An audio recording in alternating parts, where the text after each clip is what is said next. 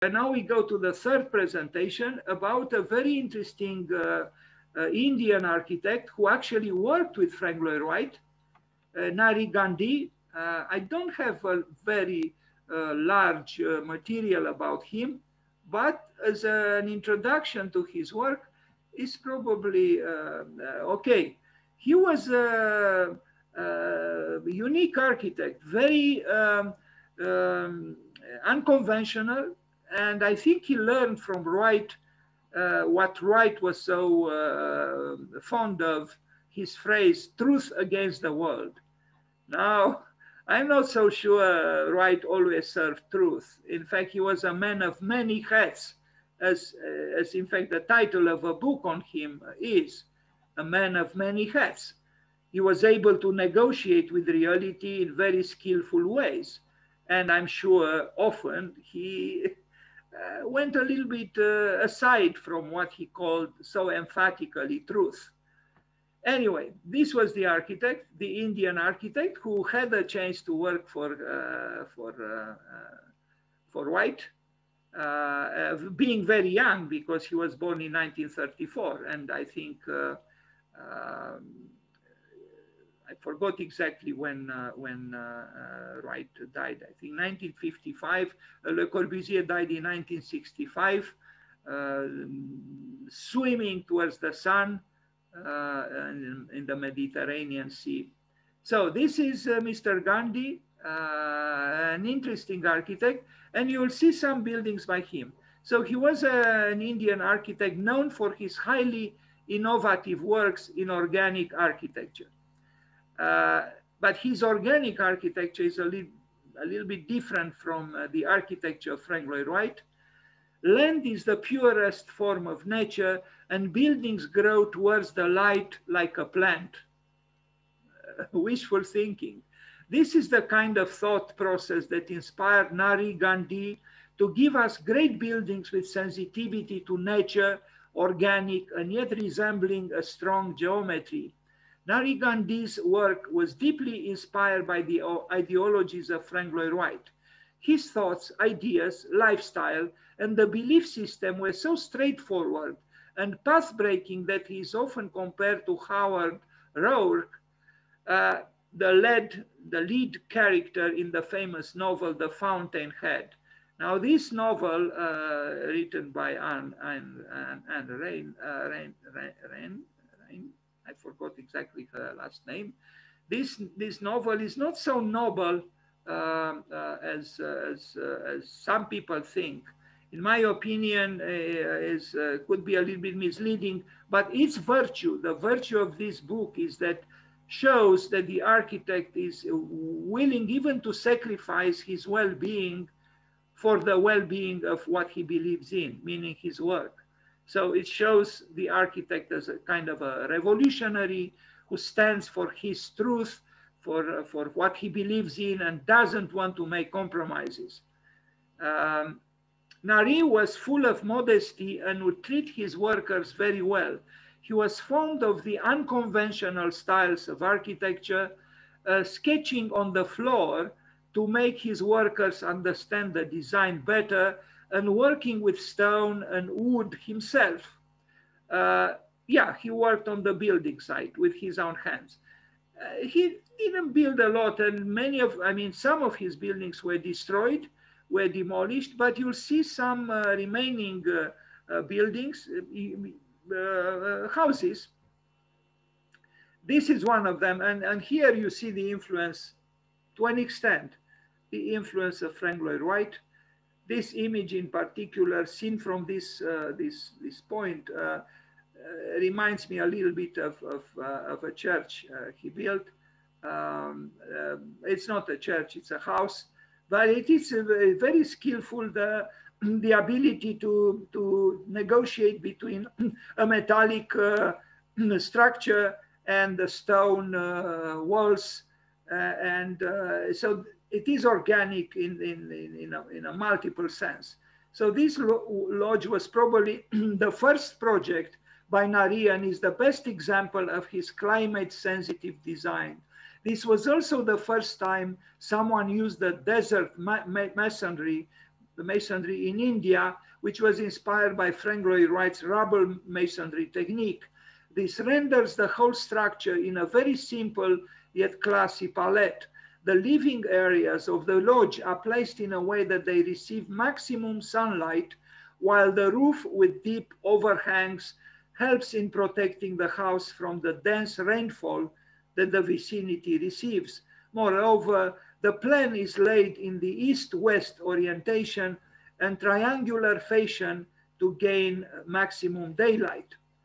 Uh, it's a fine building. Uh, it's a fine building by any standards. And it's not, it is modern, but it's not aggressively modern.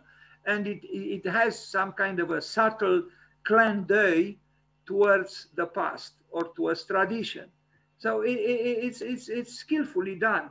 The triangle, tri triangular plan in line with the sun path and wind directions, the openings directed towards an unobstructed view of the nearby fort and reservoir, the use of locally quarried uh, materials, and the unconventional look of the building manages to give us the best taste of Nari Gandhi's work.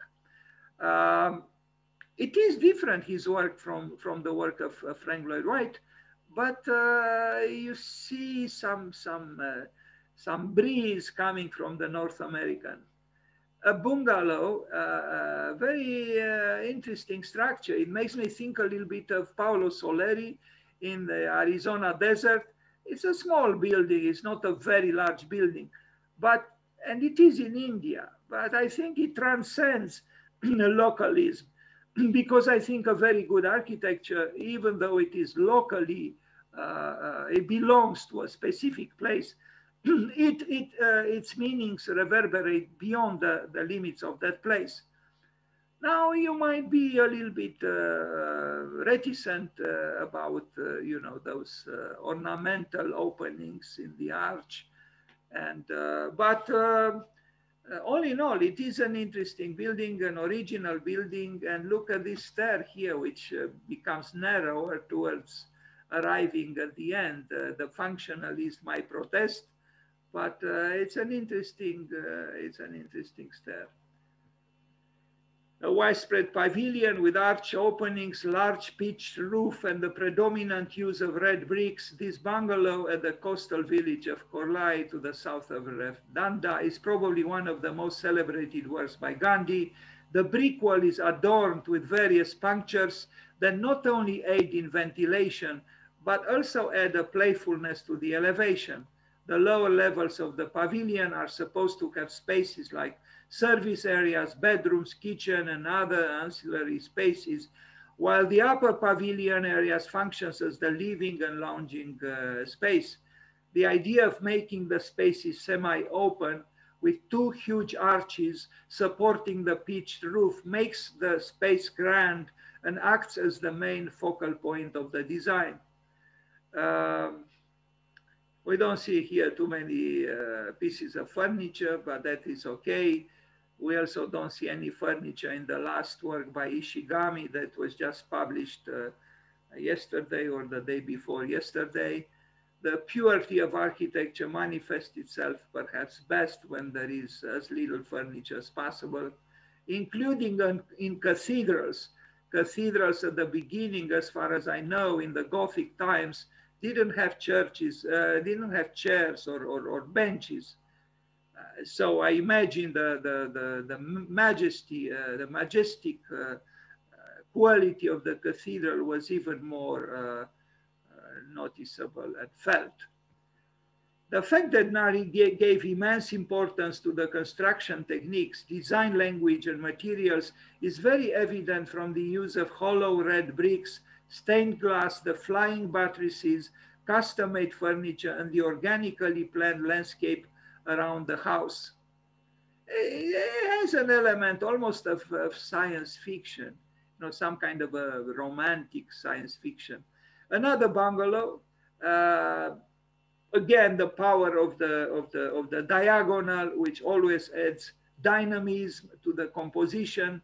And uh, it could be easily uh, made legitimate by, uh, by the necessities of a sloping uh, roof.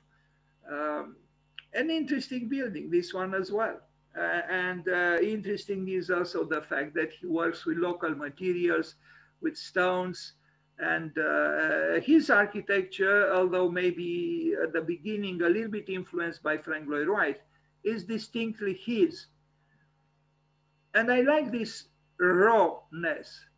I remember reading that Zaha Hadid wanted to have a raw, a vital, earthy architecture. I don't think she arrived there. Uh, yes, she arrived at other things, but I don't think her architecture can be described as raw and earthy.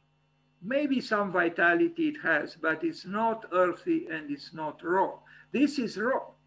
Uh, and uh, and, uh, and uh, I think this is a quality. It is said that this masterpiece by Nari Gandhi was constructed without a single set of working drawings or involvement of site engineers. Now, look at this. So he built this building without any working drawing. It's possible. I really think it's possible. So the torture of providing working drawings in the United States, a set of contract documents or working drawings is, is uh, unbearably heavy on the architect. It is actually not made for the construction worker. It's mainly made for the lawyers. If something happens, and for the insurance companies, that there are all kinds of notations there that, that show clearly who made the mistake and why. So it's all about mistrust. But here, you know, this building was, was built without working drawings, was just the dialogue between the architect who worked with the construction workers together and they erected this building, you know, with bare hands almost, without drawings and without engineers. Fine. So uh, personally paying, uh, so this project involved a very labor intensive method with, with, Gandhi, with, with Gandhi personally paying attention to every aspect of the design. The structure is composed of stone masonry walls of varying, varying sizes and colors. These masonry walls were integrated with steel struts and trusses, which then supported uh, the sloping roof. Walls of the internal courtyards are embellished with small chips of stones. Most of the stones used in this project were in igneous rocks or indigenous, I, I don't know, uh, from the western Ghats of Maharashtra. And this implies that Nari Gandhi was very particular about using locally available materials and making the most of it. Strong use of geometry can be seen in the forms of the aperture used in the design, like semicircular openings for windows and parallelogram shaped openings for all the doors. The structure through its shades and forms not only bends with nature, but also creates an organic environment within, and this is a pure, purely a product of innovative thought process. Uh, yeah, there is also a level of spontaneity. And I think spontaneity is a good thing when it is a good thing. Sometimes it could be a bad thing. But, but uh, uh, we have so little spontaneity really in the construction processes of today. You know, we make the contract documents, we they make the drawings, we make all the details, and then the building becomes an almost a boring affair where the constructors, the builders, have to erect what is shown in the drawing. So there is no surprise. There is no, uh, you know, uh, oblique line in the process, so to speak. There is no uh, really much room for spontaneity. And uh, that's why most buildings look kind of alike. Now, this is an interesting house. Uh, well, this is not the only one that is interesting, but uh, this is interesting also because it has this primitiveness, this archaic quality that uh, that uh, seems to be a characteristic of this Indian architect. Although he was an educated architect, but but I think just like in modern art, some of the greatest modern artists inspire themselves from the archaic from uh, you know uh, archaic cultures, from Africa, from uh, primitivisms, so-called primitivisms, uh, uh, and uh, I think we need that in architecture too, because it is indeed a way to arrive at what Zaha Hadid wanted to arrive at and didn't. That is rawness and that earthy, earthy quality of the building. And uh, yeah, it is said we are born from the earth and we return to, uh, to the earth after we die. Well, perhaps in a building that is built from, uh, from uh, you know, like bricks, we feel more at home than, than, than in a building which is uh, built of, uh, of, artificial materials. Plus, I think brick, bricks the bricks age well, organic materials age well, and they are indeed sustainable. So this house by Gandhi is a uh, quaint red brick house that has undone the concept of home. This project is a perfect example of Nari's out of the box thinking. This shows that a house need not be a space confined to walls and ceilings, but can be a collection of organic spaces, open, semi-open, and scattered. Again, this too is a climate responsive design with sloping roofs clerestory windows and deep overhangs. This project was more of a remodeling work and the main highlights include retention of the dense vegetation on the site, usage of locally, locally available red bricks, and tree trunks as the main materials of construction and use of local geru as a paint of walls.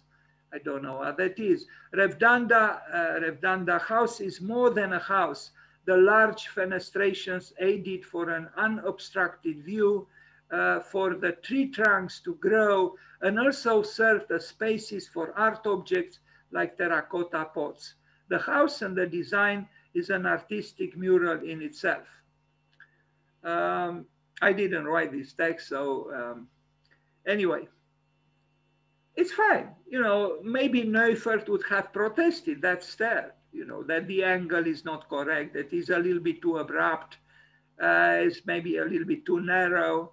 But uh, I'm sorry, Mr. Neufert, uh, life is not uh, like your uh, manual for architects is. Uh, and strangely, maybe you know, Ernest Neufert studied at the Bauhaus. Not only that, surprise, surprise, Ernest Neufert loved Gaudi. Can you believe it? The same architect who tortured countless students with his restrictive, uh, so-called rational uh, measurements and so on, and calculations, loved Gaudi, Antoni Gaudi, incredible. But then opposites attract. It's an interesting building. It's a good building. I, I would have loved to live in this building, but unfortunately I have to settle for much less. Anyway, and look at this tree, you know, which is hanging on to life uh, in the in the happy vicinity of some bicycles. I love bicycles, and I think the the future belongs to the bicycles and to the village, not to the city and not to the Mercedes. Uh, although once I bought a, a, kind of an expensive car too for my daughter, well, uh, it, it, it, was um, second hand and it was not expensive at all, but so, you know, it was said there is a, this saying that we become what we hate. So it's very possible someone who, uh, you know, is uh, intensely against cars actually deep down uh, loves cars. I don't know. I, I, I shouldn't be so self-derogatory. But I like that tree, although it is uh, dry, it is, uh, it's not green, but it's so impressive, uh, you know, almost art artistically impressive, it's dramatic, it's theatrical. Anyway, this is another house, a beach house, uh, and um, it's so every project of Nari Gandhi has an interesting story to tell. As far as this beach house at Mad Island is concerned, the story is that he was involved right from the stage of site selection.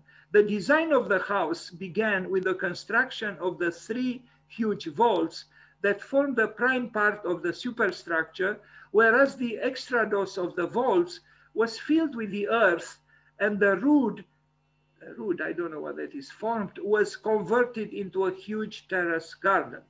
It's actually a, a cave. Uh, and uh, you know, uh, I said it, uh, I think even yesterday, the, the, the, the, the cave revival, the return to the cave.